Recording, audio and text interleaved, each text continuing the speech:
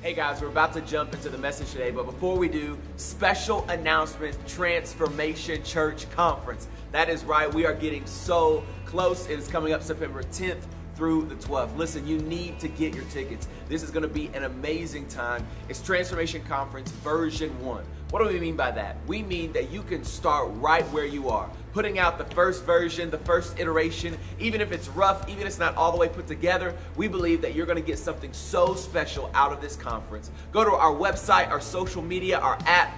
Get your ticket today because it's going to be amazing. But for now, let's jump to the message. Is anybody ready for the word this morning? They're not ready. Is anybody ready for the word this morning? All right, okay. All right, y'all ready? All right, so I um I'm excited. And y'all know I'm excited when my leg starts doing this. I don't know why, but it just starts doing this. I'm excited because we are starting part three of a series that we're calling Help Me Crazy. Now say it like you mean it. This series is honestly probably my favorite series I've ever preached. Not because it's the easiest topic to talk about, because it has the potential to transform so many lives. And one of the things that people do not understand is how much faith is a part of the cornerstone, the foundation of everything you have to do as a believer in Jesus Christ. And so we've talked about this idea of crazy faith.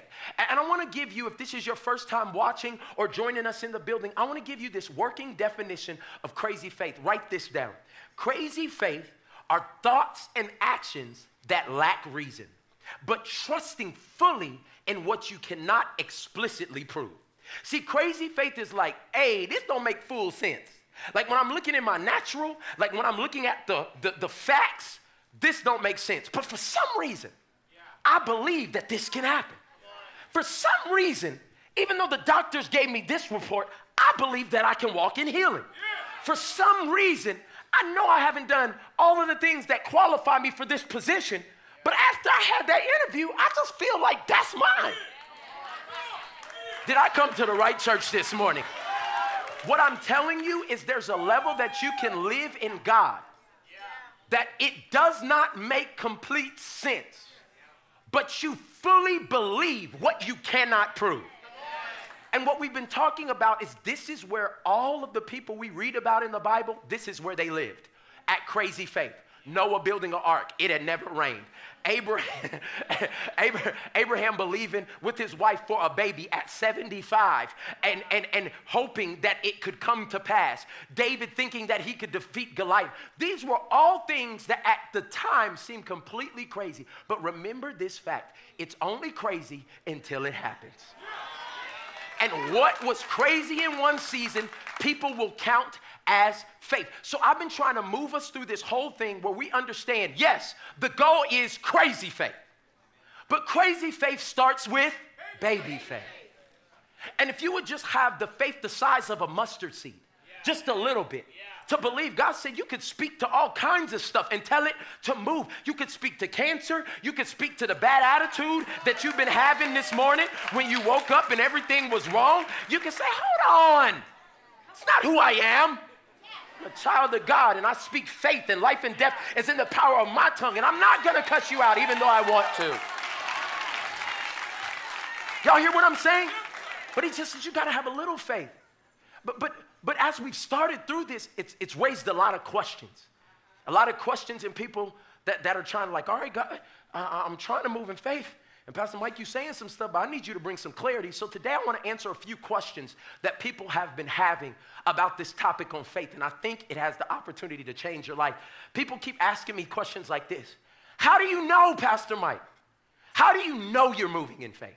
Like, I don't want to waste time and like go the wrong direction. How do I know? And then they ask stuff like this And how are you confident that what you are believing in faith, that it's done? Like, how do you do that? And the last question they keep asking is How can you be sure that the thing you're believing for is gonna happen? Like, how? I'm about to give y'all the greatest point that you've ever gotten in your life. Listen, how do you know? How do you know what you're believing for? How do you know that you're moving in faith? You can't. It's not faith if you could figure it out. No, I need to help somebody understand this because you're standing paralyzed because you want to know and be assured and sure that everything's gonna be okay. You can't. Let me help you understand this. Faith begins where understanding ends. When you don't know, that's where faith starts. When God called you and said, You're supposed to go to this college, well, how am I gonna pay for it? That's where faith starts. Like, like, well, the doctor gave us this bad report. What are we going to do? We don't have insurance to pay for this and that. That's where faith starts. Where your understanding ends is where faith begins. And what most of us try to do is we want to understand it all before we start moving in faith.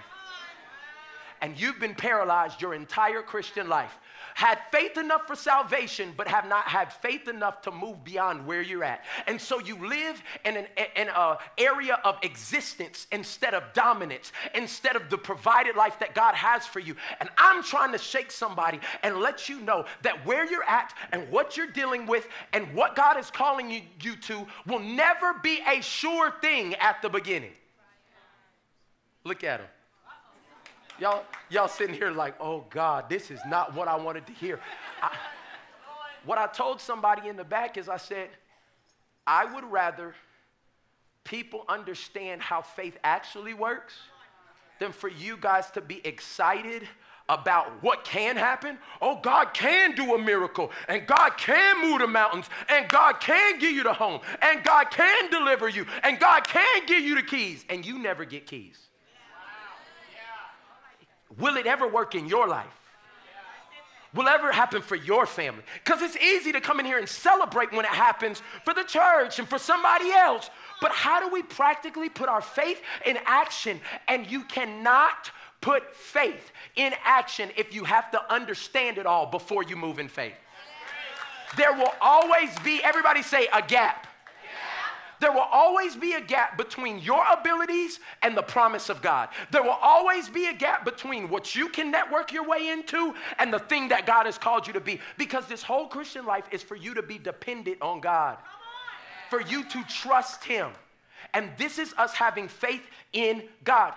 So, the title of today's message is something that's gonna help you.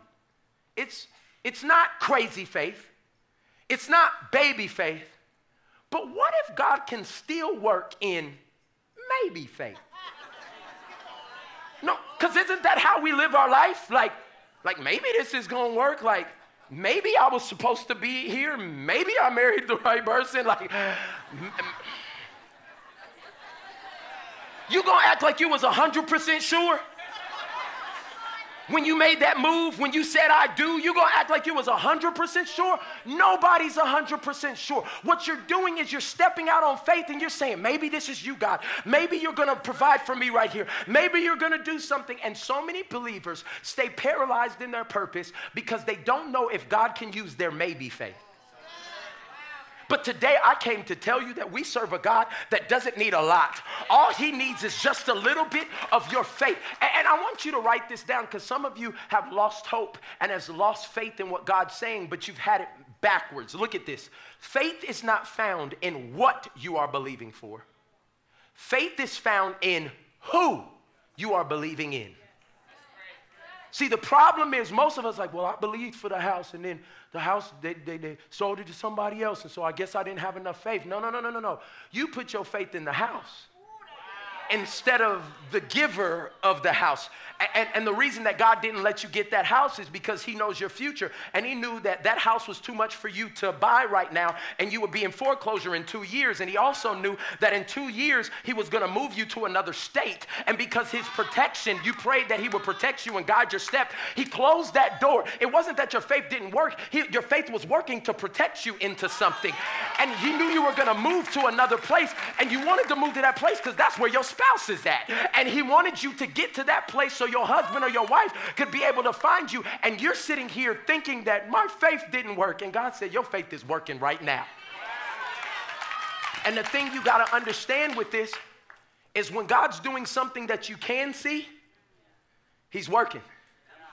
But the same God, when you don't see it, He's still working.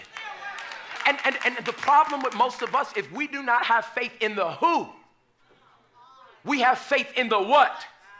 So if I don't see the healing like I wanted to see, I, am I'm, oh, I lost faith because th- that loved one passed away.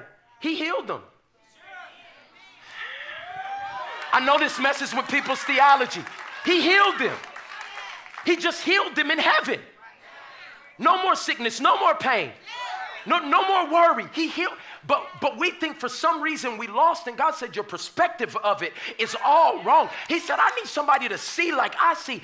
You got to get your faith out of the what and put your faith in the who. And my faith is in God, and your faith should be in God. And that's why when things don't go your way, put your faith back in the who. Because my Bible says God is working all things together for the good of those who, like, either you believe that or you don't. So a L is not really a loss. It turns into a lesson because even when I go through something that looks unfavorable to me, even when they leave us, even when they go away, God says, I'll use all of it. Y'all don't believe it over here. God says, I'll use all of it. And that's why, and, and that's why most people won't even get past salvation when it comes to faith. You just had enough faith to ask God to keep you out of hell. I got my get out of hell free card. And God says, Is that where, is that all? Is, salvation is the starting line of the Christian life dealing with sin and not sin, like, is this a sin? Is this a, that is the first, like the first part of dealing with Christian life. And 80% of the people in this room is stuck right here when the promise of God is over there. But we won't have faith to believe beyond where we're at right now. And so let me help you because some of y'all are sitting here looking at me. Let me give you some Bible. Hebrews chapter 10, verse 38. It says, and the righteous ones, my righteous ones. Another translation say, and the just, people who have put their faith in Jesus Christ, they will live by faith. Sorry, boo boo, you don't have an option. If you are saved, the prerequisite, the fine print of salvation is guess what? You now have to live by faith. So there will always be a gap between your job providing for you and what you really need because the saved ones, the just ones, the righteous ones shall live by faith. And this is the stuff nobody tells you. It's like, oh, your miracle's on the way. Everything is coming. Claim it. It's your season. But you've been saying that same thing for 10 years. It's because the miracle is waiting on you. It's not, is the miracle here? Is God out of supply? It's are you out of faith? Let me step back over here. If you are a believer, there will always be a gap between what you have and what you need. Ask Paul. Because if anybody could get a pass on this, it should be somebody who wrote a third of the Bible. You, you, I mean, Paul, Paul, I mean, literally, he's seen miracles, y'all. Paul was killing Christians like pow, pow, pow, pow, pow, gangster killing Christians. Has a Damascus Road experience, goes blind for a few days, has, has somebody put spit, or, or not spit, but touch his eyes, and, and he goes to see, and then he starts ministering the gospel. He literally has seen miracles. He's going around speaking all these words, and then he comes to this place in his own life. Like many of us, no matter what you do, no matter if you're on a platform, no matter if God's using you in great ways in your company or your business, there will always be an area that you are deficient. And that gap is for faith to fill it. And what ends up happening is obviously, obviously Paul has faith. And so in Second Corinthians um, um, chapter, let's go, Second Corinthians chapter um, 12, verse 8, he asked Jesus, Three times. Hey, listen, I got this issue. that's kind of like a thorn in my side. And they never tell us what it really is. It could be an addiction, it could have been some anger issues, it could have been all kinds of things. But he said, I got this thorn. Could you please take this away? And God was like, nah, nah, nah, nah, nah, nah. You look better with that. You're more attractive to me when you're dependent on me. He said, I could take this thing away from you easy. He said, but right now, my grace is, is all you need. It's sufficient for you right now. So I'm going to let you stay with this gap so faith can fill it. Because every day you wake up, you need to understand that, that maybe it's God who's sustaining you. And maybe it's God who got you into that position that you didn't qualify for. And maybe it's the grace of God that empowers you to live a different life. It's maybe faith. Like, like it's maybe I can't do this without God. And so all of us have to get to this point where we can realize that we have to trust completely in who God is and what He's called us to do. But look at the end of Hebrews 10:38. Because my question is to you is what are you filling your gap with? Some of y'all trying to fill the gap with talent, with networking if I just know a few more people, then, then, then what God has for me. No, baby. Some of us are trying to fill it with money and things. And, and God said, the only fulfillment for this is that you have faith in me, that you, you would trust me, that I would provide for you every day. Ask the children of Israel. The children of Israel, they, they, they, they, didn't really have a full understanding of what God was trying to do in their life. He, he told them, like, I'll provide for you every day. And so he started letting manna from heaven, that was their food, rain down. But what they didn't understand is that there was only enough anointing in the manna for the day. Like it was only for that one day. And so people who would try to store it up and, and save some for the next day, it would rot and have maggots in it because God was trying to tell everybody and give a sign to us right now that I am the God that will supply your need every single day. I'm the God that you need to have faith in every single day. But I can tell the people in the back trust their plan more than his purpose. I can tell there's thousands of people watching right now that, that you would rather become independent than dependent on God. Come on, let's be honest. You used to pray more when you were desperate. Come on, listen. When you didn't have the money, when, when, when, you, when you didn't have the job, when you didn't have the connections, when your children were, when you were praying to have children, you were more desperate. But sometimes the blessings of God make us self sufficient and we no longer depend and trust on Him anymore. And that's why there always is a gap between where you are and what you can do and the purpose that God has called you to. Ah. So, so, so look at the bottom half of this scripture. It says, and my righteous ones are the just will. Everybody say will. will. You have no option. You're, you're going to live by faith. But it says, but I will take no pleasure in anyone who turns away from faith. What does it look like when you're a believer, but you don't have any faith in the God you say you believe in? He said, I, I don't take no pleasure in that. So if this is like the cornerstone of our faith, we need to understand and figure this faith thing out. So let's go back to the beginning, to the father of our faith. And his name is Abram, okay? And, and this is his version one. Um, shameless plug for a conference we're having September 10th through the 12th, right here in Tulsa, Oklahoma. Um, let's look at it right now. Um, chapter 12, verse 1, it says, Now the Lord had said to Abraham, Who said it? I said, Who said it? This is very key when you start talking about faith because a lot of people want to take their thoughts and then paste the Lord on top of them. Like they want to act like that relationship was from God. and, and, and, it started out nasty and started out wrong and started out bad. And this proves to me that, that Abram had a devotion life with God. That, that that if you don't get anything else from my teaching or this church, all I'm asking you to do is have a daily devotion with God, time that you set aside where you wait on God, you read His Word, you listen to worship music, because Pastor Mike may be your favorite preacher, and such and such may be the person that speaks to you in a good, encouraging way, but nobody can talk to you like God can. Nobody can pinpoint your situation, your dysfunction, your hurts, your pain, the stuff you keep from every. I'm trying to help somebody. Nobody can get you right like God can.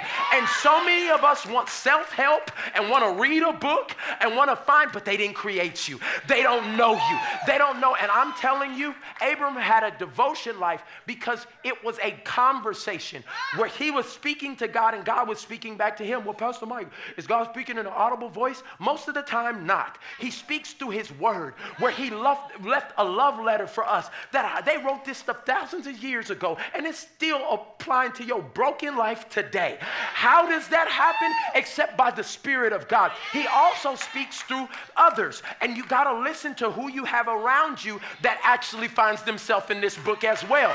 I don't want to listen to you just because you have money, because you will lead me down a path that has nothing to do with my purpose. I need to listen to some, I'm preaching already. I'm, I need to listen to people who have sought God. And this is where we find out people try to move out on faith, but they're not finding it from the Father.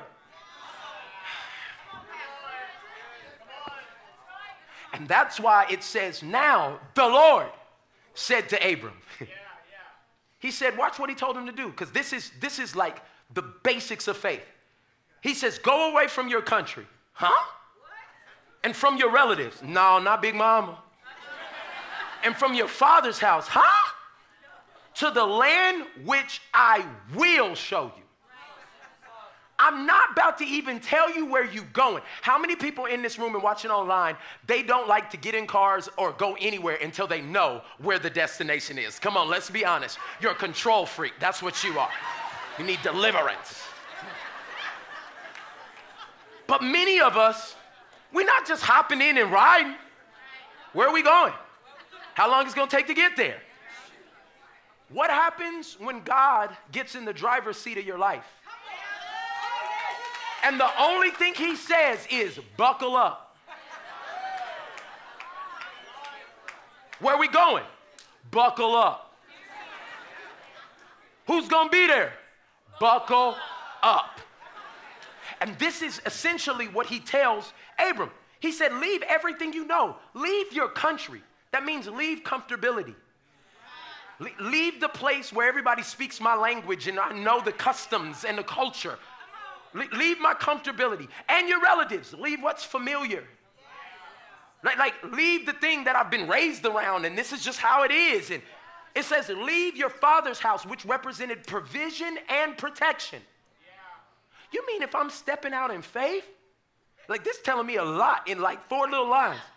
Like if I'm actually going to live by faith, that means faith will be uncomfortable.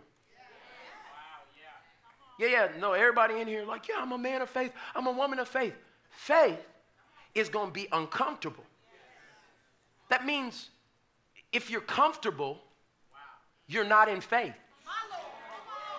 See, I'm going to say it reverse because some of y'all, it didn't hit you when I said it the first time. If you're sitting around thinking, like, yeah, Life is good. Money's good. Kids are good. I look good. There may be an area that God's whispering, you come out deeper. Step out and believe me again. No, come on, baby. There's more for you back here. And you're like, oh, no, no, no, no, no, no, no, God, you've already done it. I'm 45, I'm retired. Kids are good. Family's good. I look good. and and, and com- uncomfort or being uncomfortable is a sign that faith can work. So, so we're learning from Abram right now. Faith will be uncomfortable. The second thing, faith will be unfamiliar. Some of y'all won't do nothing that you don't know. Now, how you gonna know something new if you won't do it? Well, I, you know, that's just not my group of people. How could they ever become your group of people? Well, that's just not, you know, that's just not how I get down. How do you get down? And, and what I'm saying is when you start walking in faith, you're gonna have to learn and talk and read about stuff that is unfamiliar. You're gonna have to talk to people that don't have none of your cultural background. You're gonna have to stand in places and declare what God said when nobody else believes it. It's going to be unfamiliar. And faith will require new provision. See, most of us, if we've seen God move before, we want Him to move the same way the next time. So last time I prayed, I fasted for two days and then he answered. So this time I need a miracle, so I'm gonna pray. I'm gonna fast for two days and I'm gonna get that miracle again. And then when you get there and it's like, eh. Why didn't that work? God's left me. He said, No, you pinned me to a formula. And I want you to walk by faith. If I did it the same way every time, you wouldn't have to have faith to do that. That's why Jesus healed some people by speaking the word. He healed some people by touching them. He healed some people by taking mud and putting spit in it and telling them to go. He healed different ways because it took faith. I'm trying to help you. You're wondering why, why is the dream not coming to pass? Because you want to be comfortable. You want it to be provided for the same way it was provided before. You want it to be familiar. And the last thing you got to understand about faith faith will force vulnerability. You can't be safe in faith. When I, when I, when I drew that, that picture of the Spirit Bank Event Center five years ago, and the first line said the Spirit Bank Event Center will be Transformation Church, that was one level of faith. But do you want to know when my faith became vulnerable? As when I took that piece of paper and I showed it to another human being. Because at that moment, my faith was vulnerable. Either they were going to be like, this boy done lost his mind, or wow, maybe God can. And it's very, very important who you talk to and who you are surrounded with when you're in a season of maybe faith. Y'all better hear me. The people that have been your besties don't have the words for what God's about to take you into. The people who've been talking behind your back, you don't need their approval. You need somebody to bear down and believe with you.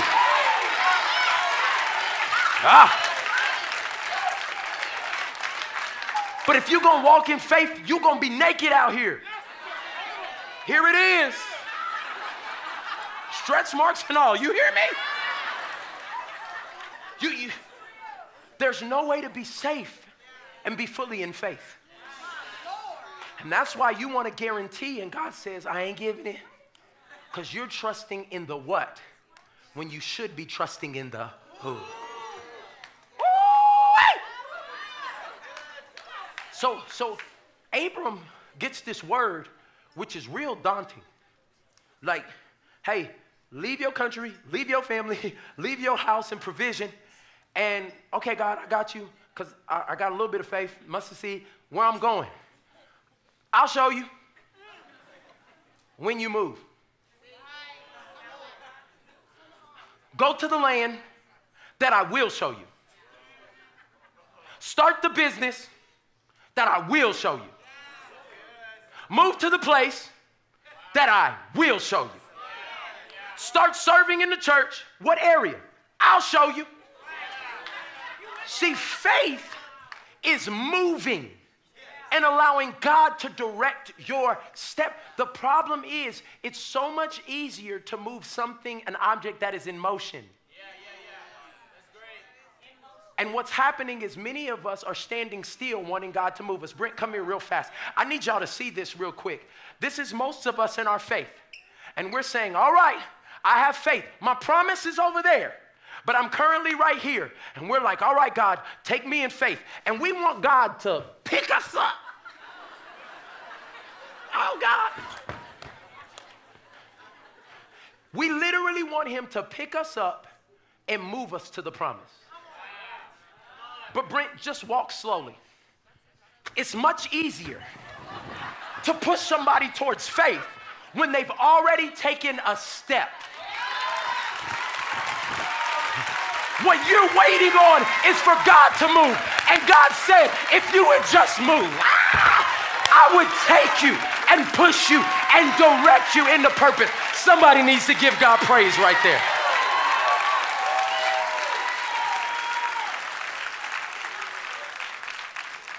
I hope you're getting this. So, right now, Abram's faced with a, with a hard decision. I'm going to stay comfortable or I'm going to move in faith. But this is some encouragement for somebody. The pain of faith is always anchored by the promise of faith.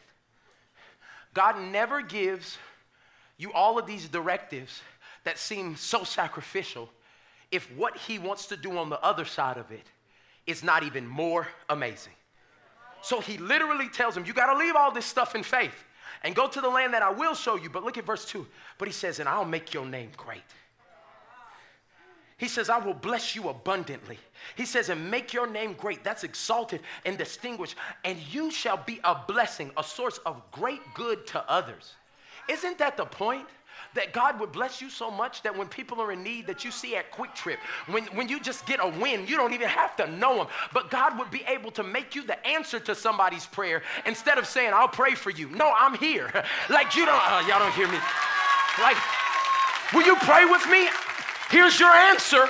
What do you need? I can be used by God in this moment. And he says, I'll make you that type of person. He said, I will curse. That is subject to my wrath and judgment. The ones who curse you. That means you don't have to defend yourself. When you're walking in faith, you don't got to go to Twitter and Facebook and defend what God is doing. God says, if they curse you, they better watch out. If they talk about you, they better watch out. I got top flight security with me all the time. You hear me? He says, and in you, all the families of the nation, of the earth, will be. We're sitting in the blessing of Abraham's faith step right now. So now Abraham has a decision to make. Like, is this God? Am I 100% sure I heard the voice of the Lord? Maybe. Like, maybe this is him. Or maybe it was that taco I ate last night. Can we be real? But I spend enough time with him that I feel like this is beyond me. Like, like, like, like, like, my, this is where I end. and, and we know that where understanding ends, faith so, so God, you're asking me to step over into something else that don't make no sense and I don't understand this thing. Look what happens in verse 4. It says, So Abraham departed. Now, I want you to look at the posture of Abraham when he departed. He just heard, leave your family, leave your comfortability, leave everything that's provided for you, leave it. Abraham didn't do this. Dang! Dang, God! Shoot. He, he didn't leave angry. He didn't leave crying, oh my God, Pookie, Ray Ray. And he didn't even leave prideful. God about to bless me. I'm leaving y'all. Forget your church. Forget your business. God about to make me a ruler over nations. What? You gonna work for me one day. Because many of us leave our last season thinking it's about others when God is trying to build your faith in, oh, y'all not. And so you're doing it trying to prove something, and God's trying to improve something in you. Uh. Look how he left, though. So he departed. And in my mind, Abram was like, I gotta go. Like, this ain't even time. Like, you know when somebody's like fast walking like, like he departed, he was like, oh shoot, I got to. It's like the people you see in the mall if you go at 6 a.m. and then people walking in the mall. I just, for me, I just feel like he had to get out of there. How do you know? Because he said he departed in faithful obedience. Like, I don't know if this is gonna work. Maybe it will. But I'm going to be faithful or full of. I'm gonna be faithful. I'm gonna trust in God. And I'm just gonna be obedient as the Lord has directed him. Who directed him? This is where I just want to let you know do not make a plan and then just go do it. Because God's grace is sufficient and He'll protect you and He'll save you. But when you move outside of the will of God, He cannot prevent all the scars.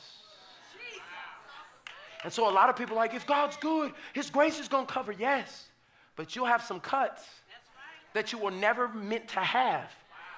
That if you would just stay in His will, and it might not be in your timetable, and it not, might not be how you wanted it and who you thought it was coming through, but our goal is to be faithfully obedient. Somebody say, faithful, faithful. and obedient. obedient. Okay, so Pastor Mike, why aren't more people living by faith? If it's that big of a deal for us, why aren't people living by faith? And I really honestly think it's because people think that their doubt disqualifies their faith. Because you hear in scriptures like you have to you have to believe and not doubt. And then it'll come to pass.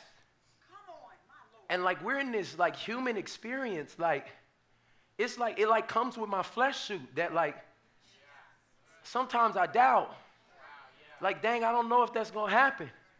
And like, I don't know. And so, what the enemy does is at the moment you doubt, he tries to come and reinforce it and say, That's right, you're doubting. You don't believe God. Your prayers don't even work. This doesn't even happen. And this is what I, I have to believe in this moment is that doubt is a part of this fallen world. Like, there are going to be moments that we doubt. Pa- Pastor, I just don't believe that. Jesus doubted. Can I prove it to you? He was one third, one third of the planning committee for this whole idea to save humanity. Father, Son, Holy Spirit. But when he gets in the garden, and it's about 24 hours before he's about to go to the cross, he's sitting in the Garden of Gethsemane saying, Guys, I think I made a wrong plan. I'm doubting what you, I know we talked about this before. I know that I said, let's do it. I'm gonna go down, I'm gonna die the death that they couldn't die, and then I'm gonna raise again. But uh, maybe, maybe there's another way. But nevertheless, not my, oh, y'all better hear me. Not my will but yours. I want my purpose more than I want my pleasure. I, ah, I want my purpose more than I want to live in this idea of a Christian life. He was all God and all human, so God had to put in there a moment where he doubted. But he responded to the doubt in faith. That this don't feel right, but maybe. Maybe this plan is going to work. Maybe if I just do it, maybe somebody in 2019 will be in a church hearing this word and maybe it'll be the thing that saves their life. Let me help you. The opposite is faith of faith is not doubt, it's fear. The opposite of faith is not doubt, it's fear. And I'm gonna prove it to you because some of y'all sitting there still looking at me. Look at Mark chapter 4. Thank you, Lord. It says, As evening came, Jesus said to his disciples, Let's cross to the other side of the lake. Who told them to cross? Jesus. I said, Who told them to cross? Jesus. This is the same Alpha and Omega, beginning and the end, the one who would not tell them to cross if he did not know that they were gonna make it across. Now, I want you to just keep that in your back of your mind. It says, So they took Jesus in the boat and started out, leaving the crowds behind. Although other boats followed, but soon a fierce storm came, like the storms in our life, like the storms in our marriages, the storms in our finances. Anybody right now, let's be honest, we are a hot church, humble, open, and transparent. Is anybody going through a storm right now in any area of your life? I got both hands up, okay? All right, thank you. Okay? So now, as soon a fierce storm came up, high waves were breaking into the boat, and it began to fill with water. What was what y'all think Jesus was doing? Jesus was sleeping. Now, what does it look like for you to be frantically tripping about the situation, whatever it is, the storm in your life, and Jesus is snoring. Like drooling. Y'all know that sleep that you forget, like you wake up and you, you think you gotta fight because you, did, you don't know where you are. Like some of y'all know about that. Like he was sleep like that. It says he was sleeping in the back of the boat with his head on a pillow. The disciples woke him up shouting, Jesus, don't you care about us? We gonna drown. We don't know how to swim. When Jesus woke up, he rebuked the wind and said to the waves, Silence, be still. Suddenly the wind stopped and there was a great calm. Then he looked at the disciples and look what he said. Why are you afraid? Now look what he con- contrasted with. Instead of being afraid, do you still have no faith? See, the opposite of faith is fear. Put it up on the screen real quick. I want you to see this because most of us are standing in between fear and faith.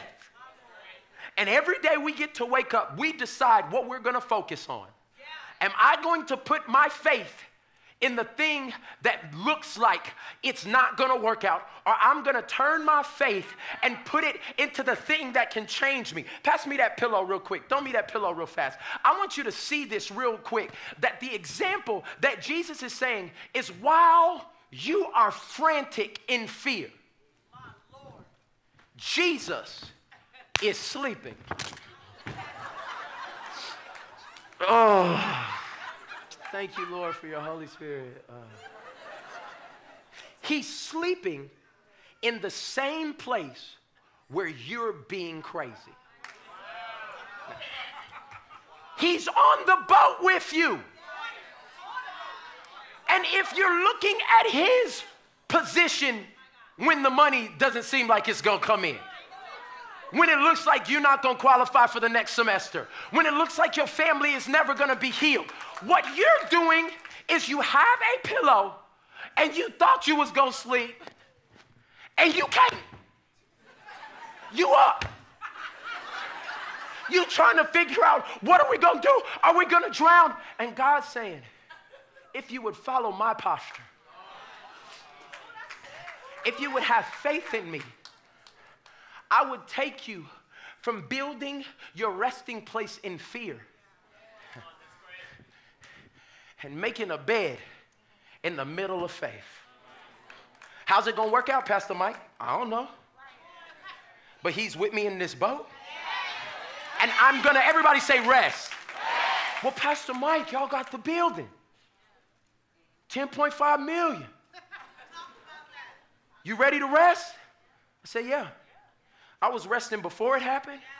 And now we need another 20 million to be able to make it state of the art because he gave the promise. He's the one told me back there that it was going to work. Why would I move when God does something back into fear? And what's happening is when God blesses you, we got the house, then what you do is you be like, oh no, the bills is higher. What's going to happen? And you step back over into fear. He brings you to another place and provides for everything you need, and you're out here in faith. And then one little storm come up. You just start backpedaling. Maybe God didn't say it. I'm just trying to give you a picture of what you live. you can be mad at me if you want to, but I'm trying to practically see that maybe God can work in maybe faith. A question you should ask yourself all week is where do I put my pillow? In this situation, where am I putting my pillow? In faith or fear? And so, because of that, you got to understand that the spirit that God has given us is not one of fear. Look at 2 Timothy 1 7. It says, For God has not given us a spirit of fear or timidity, but He's given us power, love, and self discipline or a sound mind. Somebody just needs to say in faith, say, I choose faith. Say it like you mean it. I choose faith. I choose faith. So I'm about to set some people free right here in my last four minutes, okay? I want you to hear me say this. The idea of being 100% sure something is God is a lie. Because most of you are paralyzed because I want to know it's 100% God. Even when pastors and ministers, they're going to probably call me and text me because they don't want me to tell the common people this. But I'm about to tell you all our secrets. When somebody says, I knew it was God that told me to write down the Spirit Bank Event Center, that's a lie. It maybe was God. And, and, and this is where you have to get beyond can God use just your maybe faith? I wasn't 100% sure until I signed the papers and got the keys. Then it looked like, oh God. And I could have got up here and lied to y'all and said, I knew it was God the whole time. No, it proved to be God. Ah. it proved to be God. I didn't know when I wrote it down. I didn't know. But if I stayed in faith and it lined up with God's will, it proved to be God. And for so long in church, everybody's trying to make you feel like they know. Like I know this is a word from God. I know this. Let me help you what the Bible says in 1 Corinthians chapter 13 verse 9. It says for we know in part. And all of y'all that prophesy and all the deep things, you only see in part. And it's not until Jesus comes back that it'll all be made clear.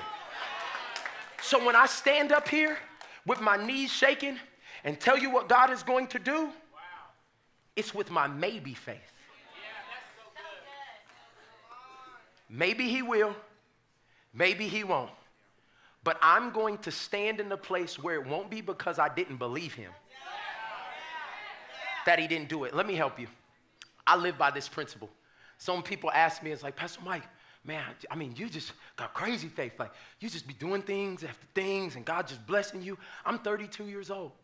And, and we closed on one of the biggest properties in our county. Okay?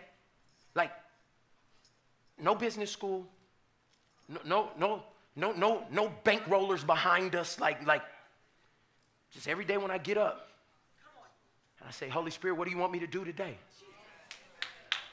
write down that it's going to be your building. Oh, okay? and believe that it can happen. Okay. So, oh, you're not asking me to be 100% sure. You just want me to live at faith past the middle.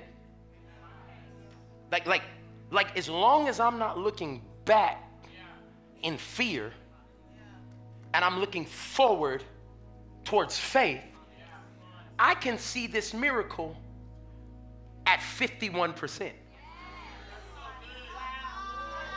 Write it down. Faith at 51%.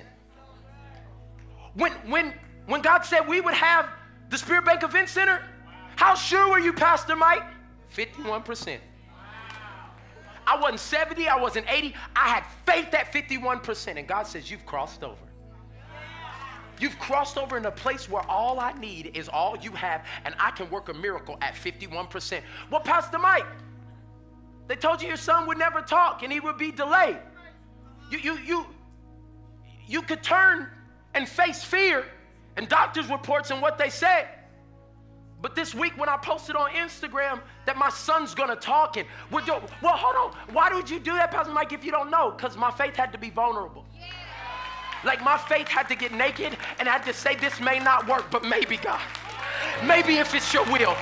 Maybe if you want to do this for me, I'll be one. Hey that will trust you and believe you. And I'm taking my faith out of fear. I'm taking my life out of fear. And all I got to do is move to 51%. And I'm believing that there's some people in this room that are going to come out of being paralyzed in indecision and all God's saying is have faith at 51%. Step over. I gotta believe that when Abraham was about to kill Isaac, he wasn't 100% sure that this was the right thing. When he lifted the knife, he was at 51%. He didn't know what was gonna happen, but he just knew I had to obey God in faith. He didn't know that right when he was about to do it, bah, a lamb or a sheep or a goat was going to come up. He just had to have faith that if I do this, You're going to come through. How do I know? This was his faith in action. Before he went up, he told the servant, Me and the boy are going up to worship, and we'll both be back. That is faith at 51%. So, will I ever be sure that the business is going to work? No. you have to hear from God, and you have to put your faith at 51%. I'm no longer in fear, and I'm no, no longer paralyzed in indecision. I have stepped over into faith. And I have to believe that was what David had when he went to face Goliath that nobody else had. Trained soldiers are standing here in fear. And all David did was not step to 100% sure that it was going to happen, 51%. Today, I'm asking God to do in you what he did for the woman with the issue of blood. The woman who had dealt in fear from what the doctors had said and from what everybody had given her a bad report. She spent 12 years trying to get healed. And what ended up happening in that moment, that she heard Jesus was in the vicinity. She didn't have faith. She wasn't 100% sure. She said, maybe. Maybe if I just touch the hem of his garment. Maybe if I do what nobody else is doing. Maybe if I get close enough to him. He don't even have to pray for me. He don't even have to take me to a side room. It's not even about what he does. It's just, I just need to touch him. And this woman took her faith. Probably didn't get her whole body up there because she was pushing through people. People who didn't believe it could happen. And she said, if I could just stretch my faith out and just get my mind beyond the halfway point. Her whole body probably wasn't there. But if I could just get my thoughts beyond, ah, if I could just think that God could do it. And she touched the hem of his garment and he said, Who touched me?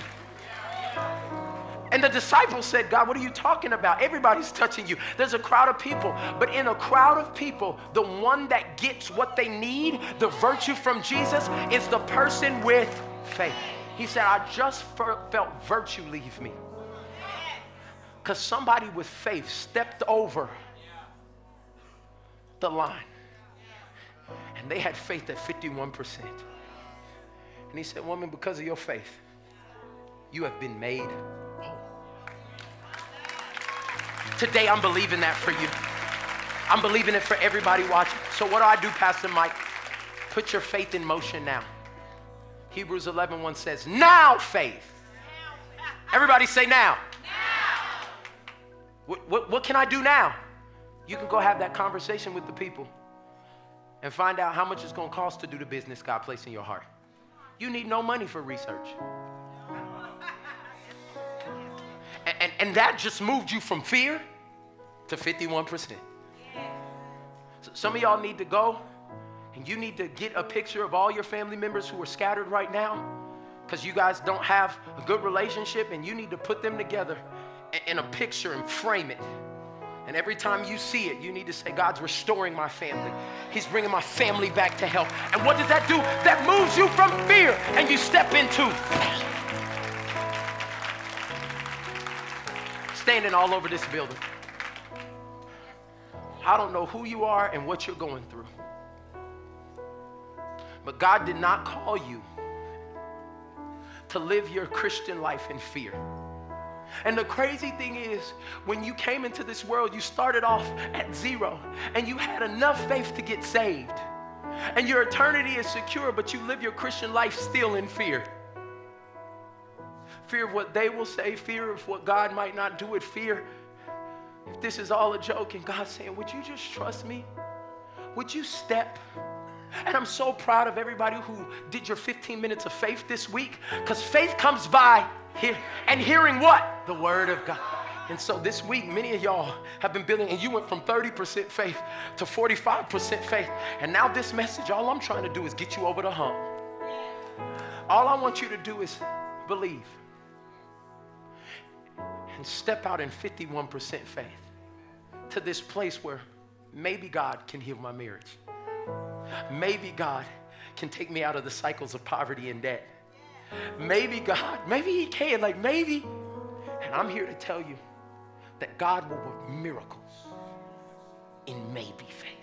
Hands lifted all over this place. God, I pray for every person under the sound of my voice and watching this. I'm praying that there is a tangible anointing of God that is hitting people's lives right now. That they would move from complacency and fear and they would walk into full faith of what you've called them to do. Father, we will fix our eyes on Jesus and we will look full into his glorious grace. I thank you, Father God, that we are moving forward in what you've called us to do and we cancel the lies of the enemy. And for everybody who's doubted right now, Father, I thank you that that lie, that they're disqualified because they doubted. I thank you that you're bringing them back to life, knowing that even the Son of Man doubted for a moment, but he didn't rest there. So I'm thanking you that people would pick up their mats and they would walk, that they would pick up their mats where they've rested in fear and they will move over to faith. Father, not even crazy faith, not 100%, but God, let us walk in 51%. Let us step over the line and let us see you move mountains in our life. Today will mark a day of transformation in everyone's life because we will move and we will see you move in maybe faith. In Jesus' name. If you believe it, will you give God? Oh, come on. The biggest shout of praise in this place. Hallelujah.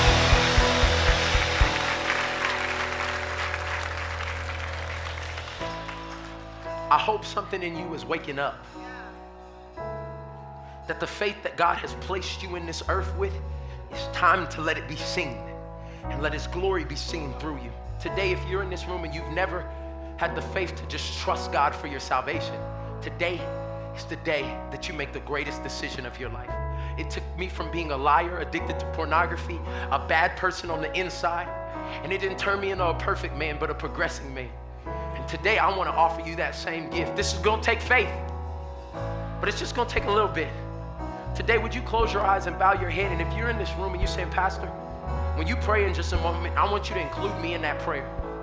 I, I want you to raise your hand on the count of three. Uh, there's hands already up right now. Here we go. One, two, three. If that's you, I see you. There's dozens of hands going up.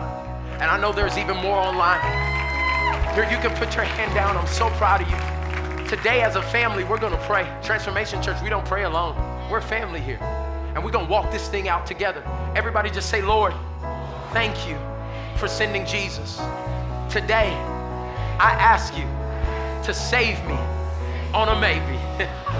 I believe you lived, you died, and you rose again just for me. Today, I'm giving you control. Change me, renew me, transform me. I'm yours in Jesus' name. Amen. Can we rejoice with heaven and dozens of people?